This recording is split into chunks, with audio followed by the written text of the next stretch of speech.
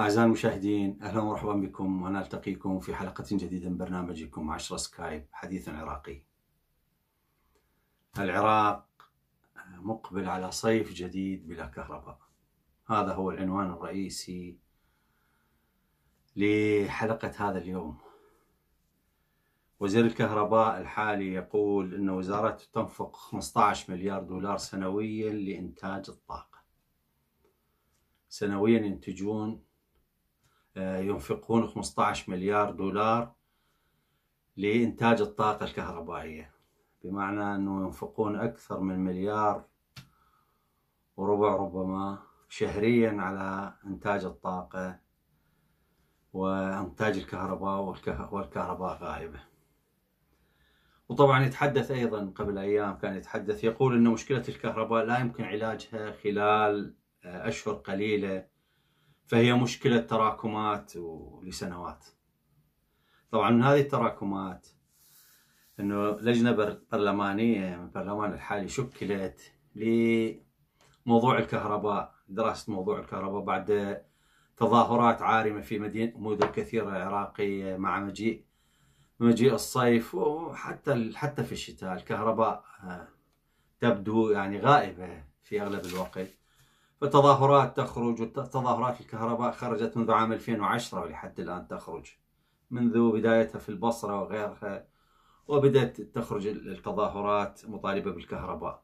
عموما هذه اللجنة توصلت إلى أنه العراق صرف 81 مليار دولار خلال 15 سنة الماضية. آه، يحددها السنوات هذه من عام 2005 إلى عام 2019 يعني عام 2020 وهذا ال 21 غير محسوبة. فتضيف لها ربما مثل ما يقول وزير الكهرباء إحنا نصرف 15 مليار دولار وضيف لها بحدود 30 مليار دولار على هاي القضية والكهرباء ما زالت غايبة. إذا المبلغ المصروف على الكهرباء لحد الآن ربما تجاوز بالتأكيد وليس ربما تجاوز ال 100 مليار دولار. يعني التخصيصات للكهرباء كلها فساد وخراب ودمار. والكهرباء لا تتوفر. لجنة الطاقة النيابية أيضا في البرلمان الحالي قبل أيام أصدرت تقرير قالت أن واقع الكهرباء سيكون مشابها للصيف الماضي. والوزارة لا تستطيع تلبية أربع ساعات تشغيل مقابل اثنين قطع في أفضل في أفضل الأحوال. يعني بشرت أهل العراق بأن شعب العراق بأنه ترى الكهرباء يعني إذا جتك أربع ساعات مستمرة هذه يعني احمد ربك عليه يعني فشيء كبير هذا. لأنه لا يمكن هذا في أقصى الحالات. إذا الكهرباء سيئة الوضع سيء الخدمات سيئة ويتحدثون عن ديمقراطية وحرية وازدهار وتطور وعراق جديد. هذا واقع الكهرباء اللي هي واحدة من الخدمات اللي يعني شعوب الدنيا ودول الدنيا كلها تجاوزتها من زمان. هذه من الخدمات المتوفرة الطبيعية الموجودة للمواطن. نحن ما زال في بلد الثروات هذه الهائلة. ما زال الشعب يتظاهر مطالبا بالكهرباء. في مجاهل أفريقيا الآن موفرة الكهرباء. في قرى بعيدة. في كل دول الدنيا المحيطة بنا. قرى بعيدة توفر لهم الكهرباء بطاقات مستمرة. وفي العراق لا توجد. هذه الصرفيات كلها. طبعا وفد شكل برئاسة وزير الكهرباء راح لإيران حتى يتباحث ويا إيران على مود الغاز يعني يزودون العراق بالغاز. لاحظ اللعب الذي صار. وزارة الكهرباء من البداية آه، تعاقدت لإنشاء محطات لتوليد الكهرباء تعمل بالغاز.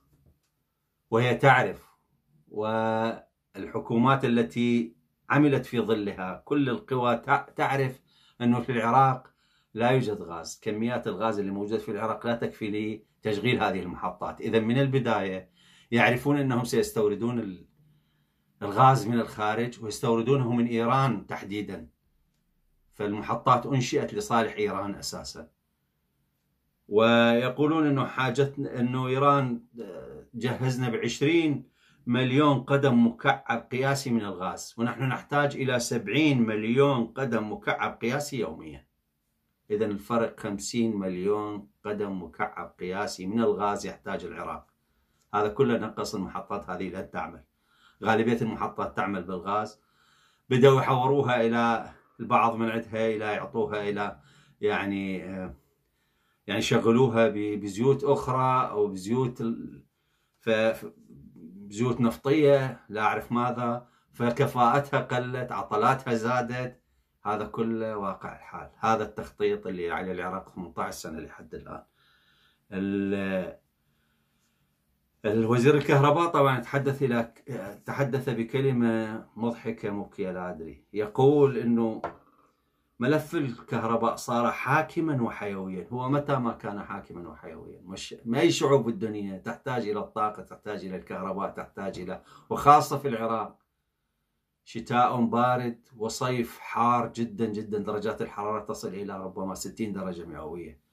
وبلا بلا كهرباء بلا مصدر لأي نسمة هواء ربما تكون باردة. كيف يمكن أن يعيش الإنسان؟